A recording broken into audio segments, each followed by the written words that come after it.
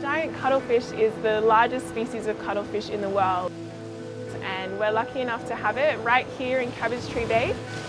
Giant cuttlefish are really amazing animals. They actually have three hearts and bluish green blood. And as the cuttlefish are, are hunting or even when they're looking for mates, they can change the colour and the texture of their skin in an instant. And this is really impressive because they're actually completely colourblind.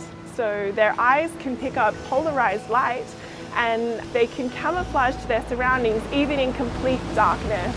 Males can often puff themselves up in order to make them seem uh, more attractive or more aggressive. So if the cuttlefish feels threatened, it can release ink from an ink sac to confuse or disorient any potential predators. Uh, females have been known to mate uh, up to 17 times a day with two to eight different males.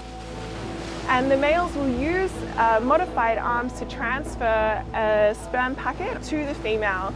And then the female will actually use this to fertilize the eggs one by one and attach them to uh, rocky surfaces with a gelatinous covering.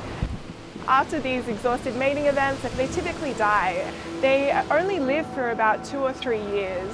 Following that, you can find these uh, bones washed up along the beach. They have this internal shell.